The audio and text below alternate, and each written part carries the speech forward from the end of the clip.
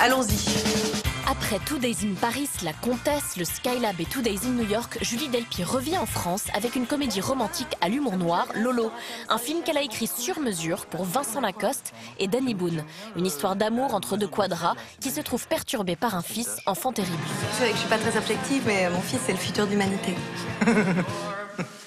Fondamentalement, je pense que le film est une, est, est une réflexion sur les, les, quarantenaires, sur, sur la place de la femme à 40 ans. C'est-à-dire, euh, elle a réussi sa vie euh, professionnelle, et, euh, mais euh, quid de sa vie euh, sentimentale et même de son rapport à son fils. Quoi. Elle a complètement euh, spolié. Enfin, son fils est un, est un, est un enfant roi à qui elle a jamais dit non. Je te présente Jean, Éloi, mon fils. C'est Lolo. Ah, bonsoir Éloi. Jean-René, très content de vous rencontrer. Jean-René Oui. Enchanté. Pour lui, sa mère, il la mange, il la vampirise, et elle lui sert constamment, et il a aucune empathie pour la douleur de sa mère. Le film, dans mes références, en fait, est plus dans les films noirs, que ce soit Antise, euh, par exemple de, de, de Cucor, euh, un film que j'adore. Là, c'est un mari qui rend fou sa femme. Moi, elle me demandait toujours d'être un peu faux cul et de faire des petits sourires à la fin. Parce que sinon, ça faisait trop flipper, quoi. hey, les gars Si ce nouveau film un peu formaté s'éloigne du cinéma plus indépendant auquel on l'identifiait, Julie Delpy n'a cependant pas peur d'aborder des angoisses liées à la féminité, la famille ou le couple, sans artifice. Jean-René Tu dégages le plus fort Mais comment peux-tu imaginer que je puisse être intéressé par deux grandes blondes de 20 ans? J'aime euh, son côté cash, en fait. Je trouve qu'elle est très cash, et dans son écriture, et dans son univers, et dans la manière de faire les choses. Je trouve qu'elle gère assez bien ses névroses, elle en a beaucoup. Comment t'as pas changé, Si Two Days in Paris confrontait une femme à son passé sexuel avec légèreté... T'as décidé d'arrêter, toi, de vieillir. Oh, arrête tes conneries, je suis crevée, là, on vient de faire je sais pas combien d'heures de train. Non, je suis sublime, alors je vais te Oh, dire. arrête, arrête. Hein, je te jure. La comtesse explorait le rapport plus sombre d'une femme à son âge et au pouvoir. Regarde-moi.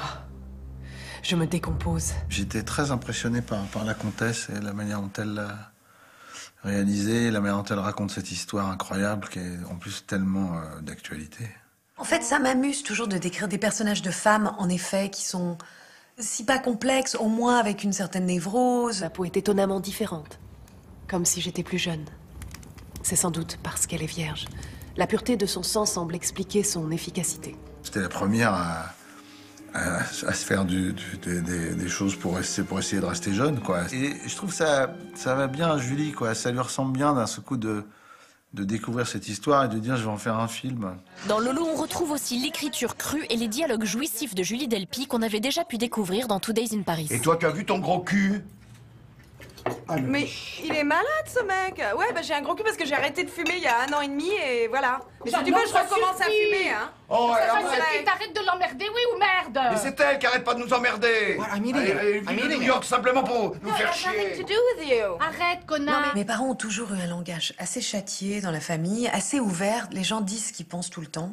Et en fait, euh, c'est vrai que je- quand j'écris le personnage, par exemple, d'Ariane dans le film, c'est un peu un hommage à ma maman qui était comme ça, une vraie grande gueule. Violette, hein, c'est ça hein? Oui. Allez, vas-y, profites-en en vacances, un petit ramonage pour les toiles d'araignée.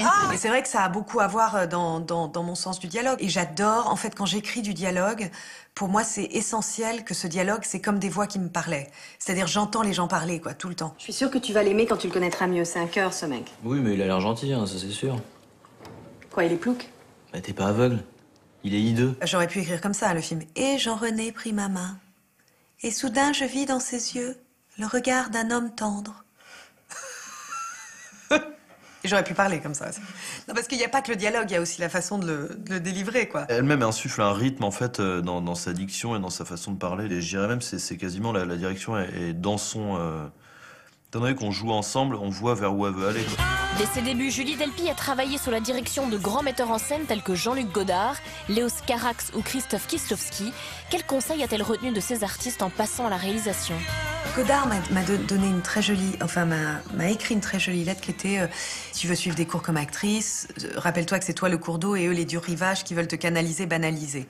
J'ai beaucoup aimé cette phrase, ça m'a beaucoup marqué, j'ai beaucoup suivi cette idée de suivre mon propre chemin, toujours. Et, et Kieslowski m'a donné des très très bons conseils sur la réalisation. Déjà, il m'a beaucoup conseillé en écriture de toujours faire en fait des choses qui quelque part me ressemblaient, de pas me mentir à moi-même sur mon écriture. Je pense que beaucoup de gens essayent de faire des choses qui ne sont pas. Et c'est là que je pense que les choses clochent. Moi, j'essaye de faire des films en accord avec ce que je suis, quoi, d'une certaine manière.